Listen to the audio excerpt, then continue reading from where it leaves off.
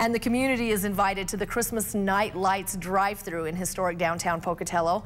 Floats will be set up in a straight line and cars can drive by on each side of the floats. It's happening this Friday, November 27th from 6 p.m. to 8 p.m. in the parking lot on the 300 and 400 block of North Union Pacific Avenue. Santa will be at the end of the line in a fire truck with elves handing out goodie bags to the kids. We're going to make 1,500 kids in our community very happy. They're going to get to see Santa. Um, it's as normal as we can possibly do right now um, under the governor's orders.